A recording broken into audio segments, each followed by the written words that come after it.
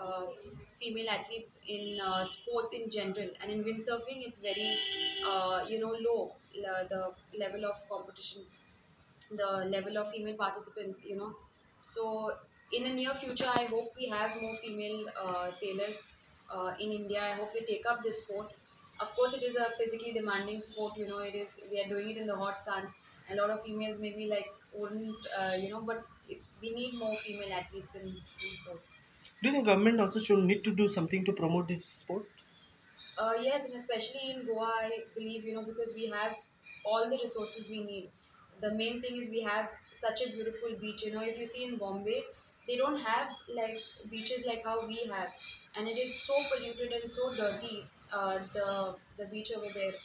In Goa, we have the right kind of resources. We have the right kind of training facilities also. You know, for beginners to join this sport. And I think a little push from the government, from the sports authorities, uh, towards this sport also would really help. You know, I mean, we have football camps, we have uh, so many various things for other sports, but I believe sailing is a beautiful sport and it keeps you physically very fit. I think this is what is needed and what should be promoted in uh, the youth. You know, like for youth, I think sports is something that needs to be in every household. People should be encouraging their kids to take up sports because it teaches you discipline. It builds character you know in a child. And if you teach a uh, child the discipline of sport trust me they will not go into any wrong direction. See in goa everything is freely available. But if you have discipline and self control and if you focus on your goals like we are doing then this i think that's going to be a really good change for the uh, generation that is yet to come So what happens to the association that is there in Goa?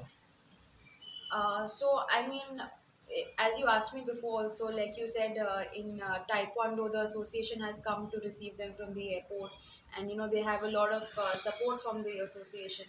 But uh, sadly, uh, there is this kind of miscommunication that happens with me and my association. I believe you know because I'm not getting the uh, support I want honestly from them. Um, I really don't know what else to say. I mean, I'm hoping that now, as an athlete, it was my duty to represent Goa and represent India and qualify for my country. As an athlete, that is my duty. But it is also the duty of the officials from now on to take it forward. You know, see, whatever I have done, I have uh, in IQ foiling, I have learned only because of my father, who is my coach now at this level national uh, coaches are charging a bomb. At this level national uh, coaches are charging a bomb you know to learn. But thankfully i've had the resources of my father and uh, my brother also. That is how i was able to learn. And now this new sport that is iq foiling it is so technical and there are so many new things to learn. And over the this last year i have learned it all by myself. Like even in the races sometimes i'm not knowing what i'm doing wrong or right because i have not got uh, the kind of coaching what other uh, athletes have been getting. You know uh, i've not gotten any kind of foreign uh, coaching in this uh, field in iq foiling. Uh, and i think that is important. I mean you know now that i have qualified india for the asian games it's a huge uh, you know matter of pride for me but it's also a huge responsibility on my shoulders. And in order to do well i would require right kind of coaching. I mean how can i uh, perform well without the coaching you know. And over here i'm training just with uh, my brother. So there's very less uh, scope of improvement because we are both new at this sport. We are both learning. But if you train with a field uh, like if you train with a group of other sailors there is a lot of more things you can learn. There is a lot of uh, scope.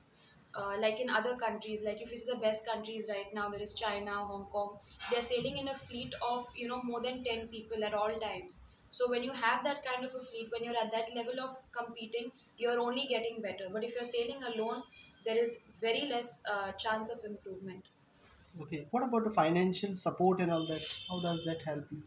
Uh, so I haven't honestly been receiving a lot of financial support in my sport. It is a, uh, you know, it is quite an expensive sport, and uh, to sustain in this sport, it is very hard because uh, when it comes to financial support, I have received my prize money from 2011 this uh, last year. So from 2011, whatever I've won, I've received it last year. So you can imagine, you know, it's it's a very delayed process, but thanks to uh, the sports minister, you know, Mr. Govind Gaude, he has been taken. Uh, my last case, uh, which was uh, for Thailand, where I won the first silver medal for India in IQ foiling. Uh, I got a little bit of financial support for that particular event. But we need to constantly be doing uh, asian championships european circuits. Now i want to start my campaign for the asian games and i do require financial support for that. So what's your message to the people? Like, uh, so for everyone who has been watching and who has been following my journey i would like to say thank you from the bottom of my heart. All your wishes i'm reading them. And you know my inbox is full every time i win. Uh, everyone is so uh, tell us. Okay. Uh, so it feels great after winning the third round of uh, trials, which were held in Bombay. This was the Asian Games trials. It was held just almost after one week after the second uh, round. Uh, these were definitely the toughest conditions I've sailed in because uh, we had in some races winds uh, gusting over 20 uh, knots, and uh, 20 knots is uh, you know something uh, diff- for the first time I have sailed in that kind of uh, wind, and especially foiling in that wind was uh, quite a challenge for me. Um Okay, so how was the experience there? so it was a good experience, you know, uh, sailing with the top athletes in India, fighting for a spot at the Asian Games. So it was a very good learning experience for me. I've learned a lot from my fellow competitors.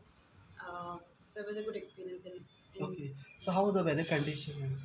Uh, so it was extremely hot, you know, in uh, Bombay. It was extremely hot, uh, extreme weather conditions, and also the wind was really strong uh, towards the end of the competition. Uh, normally, we like strong winds, but foiling in this wind was something new for me. Uh, so that was a bit of a challenge for me to sail in that kind of uh, wind condition, but it was good. It was a good experience for me. Okay, uh, there are there are two ways of sailing in the water, as you all know. Now recently they have Yes. switched to another way. Now which is the one you are? uh, two ways in the in the sense is basically we were windsurfing before with a board and a sail. Now the new uh, Olympic sport basically is IQ foiling. It's an upgrade to windsurfing. So the only difference being we have a huge foil underneath our boat that elevates from the surface. So it kind of is uh, much faster than windsurfing in, cer- in certain winds.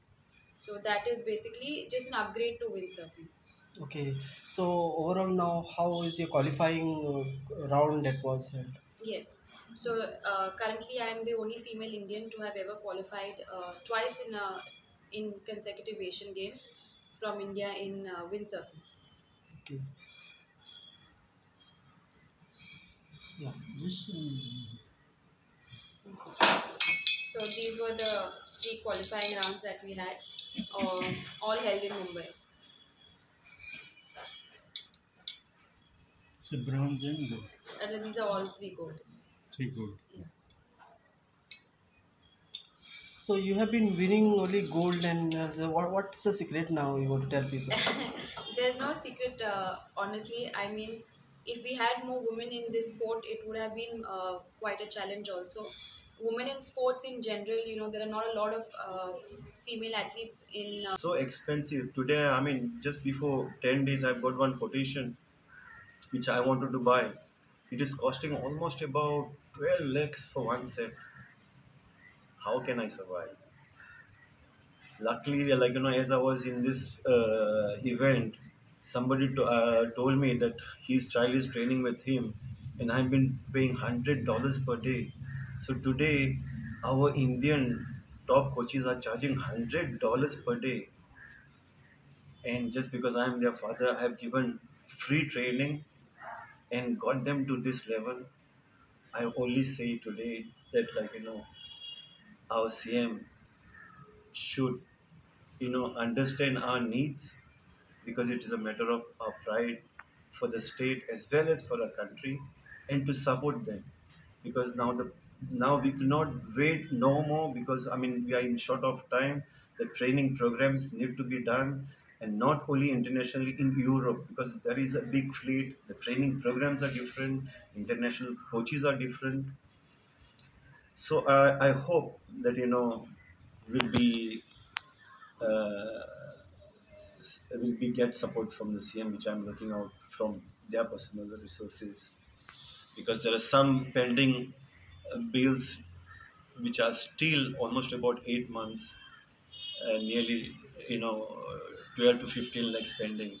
And how again? This time, like just for these two events, I have lost another five lakhs. You know, staying in Bombay, taking the coach boat, all the necessary things. It's been very difficult. What Which is about you the know association that is there?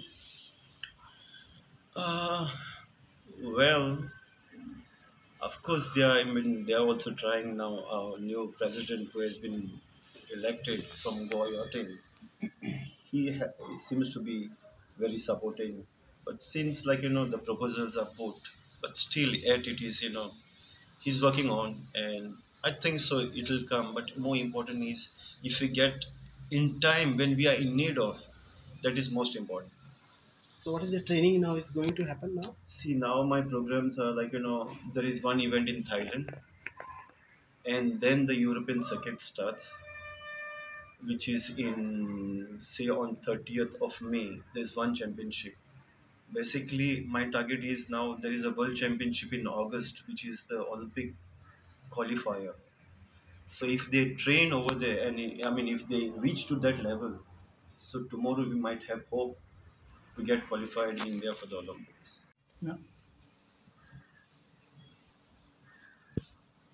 Yeah, start. कशी झाली तुमची journey आणि किती Hi. Yeah. Uh, the journey was good and good experience. And what I believe is every time when you fall, it's my principle that we will come back again.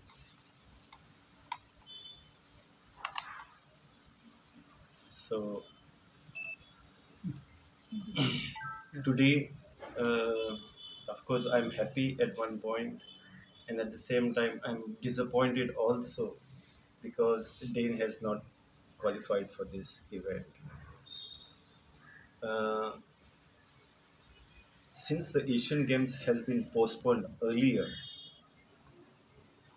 where Dane has won the Asian Games trials 2021 in RSX, which was most uh, physical and demanding sport in Olympics. Unfortunately, it has been dissolved and replaced by IQ foil for 2024 Olympics. Our visions are always higher, and my targets are also Asian Games and Olympics is my priority. This I have started in 2010 because most important is from the grassroots level. We need to develop, and according to the development program, there are so many targets which we have to fulfill, and we have done the fulfillment. Today, it's not so easy to uh, uh, go on to reach for the Asian Games for the second time. It, it is like a historic moment for, for our state as well as for our country because Katya is the first Indian girl who have represented in 2014 for the Olympics. She made it again for the Asian Games in 2018 and she have done it again in 2023. So I mean there is so much dedication, there's so much time which is involved, you know, to reach to this. And and just because I am their father, I am their coach, and I am their financier. And all this I have done not because of my interest. It is basically it is interest in my country and for my state. So today, like you know, I have supported from them in all the difficulties when they are down. You know, I have them in all the difficulties when they are down. You know, I have to motivate them and to keep up to that level. Just because they have followed my footstep just because I was a sailor earlier, which I have guided, and they have loved this sport, which is most important. Sometimes some people are forced into some sports, but they are liking the sports, but sometimes which I can't deliver it for them. That's the time the disappointment comes. Today, I know that Dane was caught up with dengue for the first selection trials, which has happened in November, which he was well prepared. But unfortunately, just because of this dengue, just four days before the event, has lost him completely. Because psychology is one of the most and biggest weapon in any success. But there was, you know, lots of thoughts which was traveling around in his mind. And then I said, not to worry, you know, things will happen. And then we had uh, uh, our uh, Christmas, which is like you know I'm a small businessman, which my family are you know united. We run together. I have to look in those grounds also. The the second selection trial was in January, just after one month. He had to recover from his uh, dengue, which was badly affected, which did not allowed him to put his performance so, and soon after that, within seven to eight days, there was a third trials. Basically, the federation has finished all the three trials within a month. Uh, sorry, within three months. Earlier, the selection criteria was every two two months. Within six months, they could finish the program. Why they could give the opportunities for the other sailors. Okay, you have done this.